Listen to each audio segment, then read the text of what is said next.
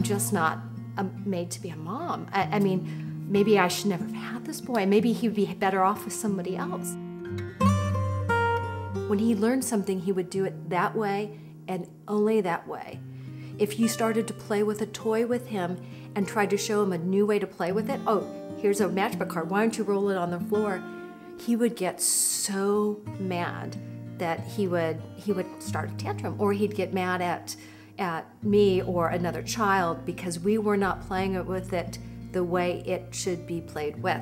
He couldn't take naps anywhere but in our home at the same time. So, unlike all the other families, I had to rearrange my day. I could not be in the car and I couldn't be in a restaurant when it was time for him to have his nap, and we could clock it.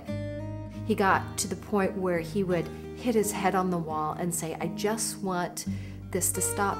And it would be over the simplest things. I can't tie my shoe. I don't know how to clean, you know, I don't know how to pick this up, mommy. I don't know how to put this game away. Anytime you ask him to do something he'd never done before, he would go over the edge. I said, That's it. I, I can't do this. I can't.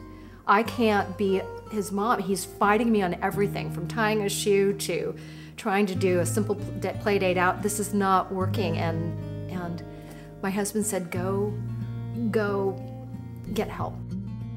So rather than going to a pediatrician or a child development psychologist or the ones that I had been seeking help from, I went to a Christian counselor and she listened to my love of my family and she said i want you to go home and your only homework is is i want you to go research this word and it's called asperger syndrome and i went home and it's like the crystal i mean when you start reading it it resonated so true and all of a sudden the pieces started filling into place it was such a relief to be able to say i have words in which to communicate to others what my son's needs are.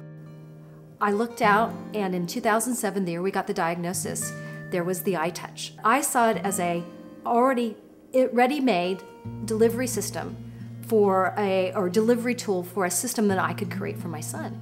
So you look at that, and I started creating albums for my son. Predictable albums, how to tie a shoe, 22 steps, drawing it out, putting it in a photo album, um, one step at a time, pictures into a photo album, and putting it into his iTouch.